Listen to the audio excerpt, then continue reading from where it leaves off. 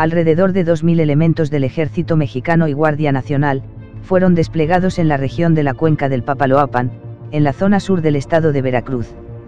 De acuerdo con medios locales, los elementos realizarán operaciones en apoyo a las autoridades estatales, para impulsar las acciones directas y decisivas contra los infractores de la ley, en los municipios más afectados por las actividades delictivas.